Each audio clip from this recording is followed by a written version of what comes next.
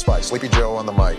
They know the clock stops for Joe and Barack. We're about to be cooking. You get the pan, I get the crock pot. Hello, ladies. Ladies and gentlemen, I would like to ask you all a question.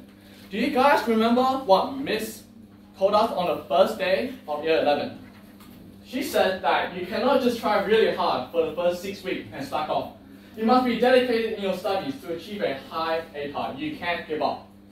Hearing that almost made me tear up, as it brought me back to a time where I was on a journey, and the only thing I knew was to never give up. Which is also the name of the poem that I'll be sharing with you today. Um, Don't Give Up by Venda Penley. Growing up, I always wanted to achieve greatness. I always wanted to be known for something. Cristiano Ronaldo was known for his famous soccer skills. Michael Jackson was known for his incredible dancing skills.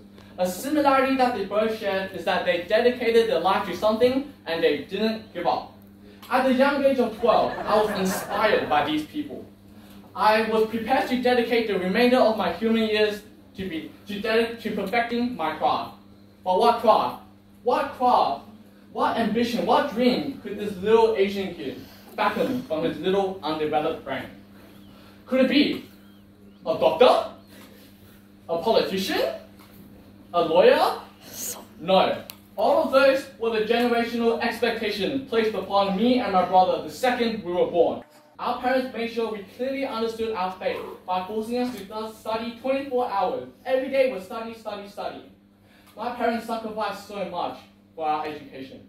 So you can expect the absolute horror of their reaction when I said that I wanted to become a professional, when I said that I want to become a professional League of Legends player. Everyone laughed. My parents,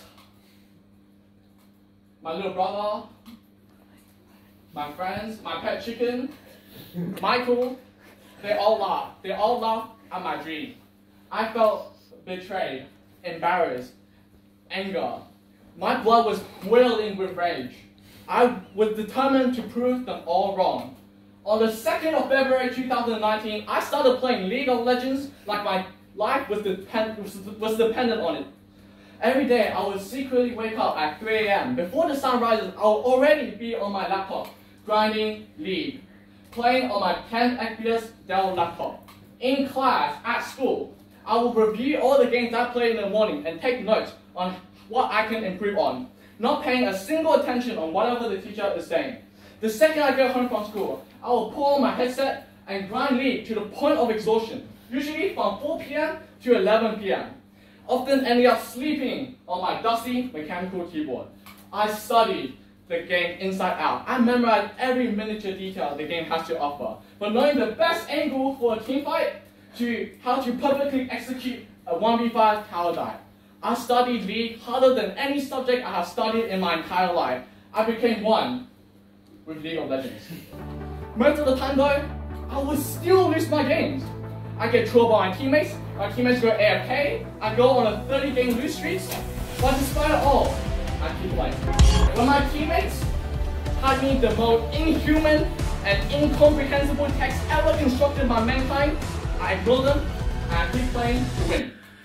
When I am absolutely losing my shit because my teammates are intentionally losing the game, I close my eyes, breath, and I keep playing, pushing my mental stability to the edge every single day. I want to quit, but I didn't. In spite all the suffering and absolute abomination of toxicity I faced on this journey, I never once thought of giving up. Because amidst the darkness of night comes a new sun that shines so bright and embracing you with its blessed light. So don't, don't give up.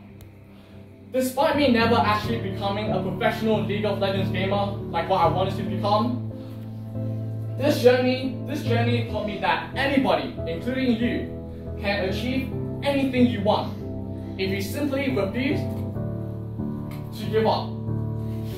Thank you everybody for listening.